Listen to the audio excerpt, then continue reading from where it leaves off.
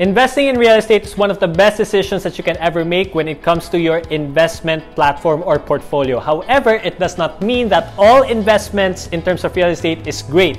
That is why in this video, I would like to share three specific considerations before you will make your very first real estate investment. The first one is what you call objective.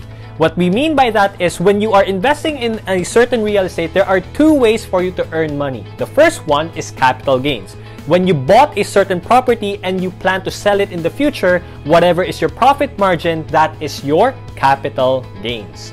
The second one is cash flow. Instead of you selling your property, what you can do is have it rented out. And since the tenant is over there, he, he or she will have to pay you for renting your space or for your property.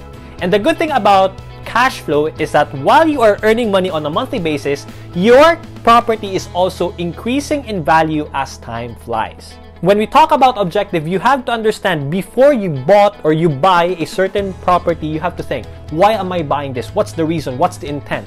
Is it for you to sell it in the future or is it for you to earn money on a monthly basis through cash flow?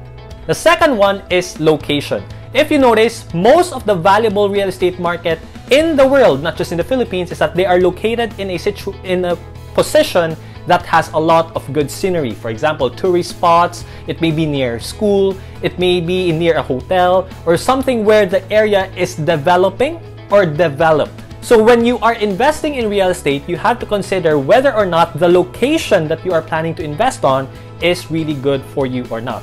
Because when the time comes, that specific property will also increase in value the better the location is. The third one is operational efficiency.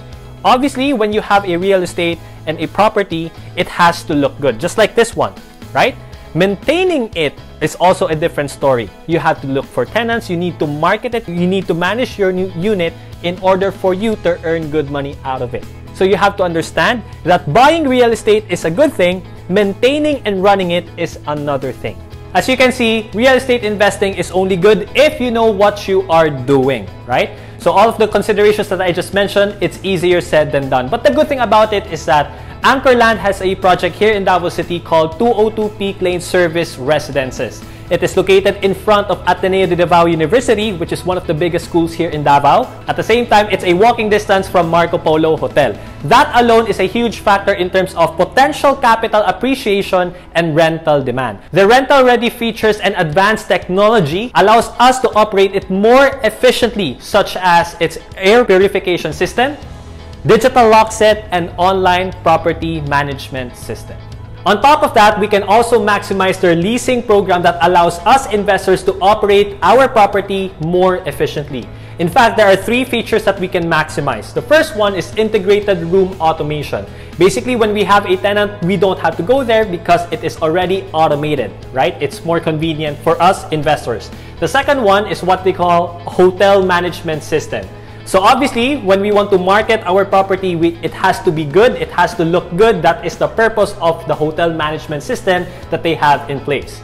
And the third one is the minimum guaranteed income of 3%. That's really the huge factor and the key. And the good thing about it is that if the market, if it performs better, we can actually earn more. Okay? But regardless, we already have a property that allows us to generate cash flow guaranteed. So I'm pretty sure that you're curious about this project of theirs. So that is why we put their website in the comment section so that you can check them out and you can ask for a quotation, right? But I'm also curious about your thoughts in real estate investment. That is why the question of the day is, what should we consider when investing in real estate? Let us know in the comment section and thank you so much for watching this video.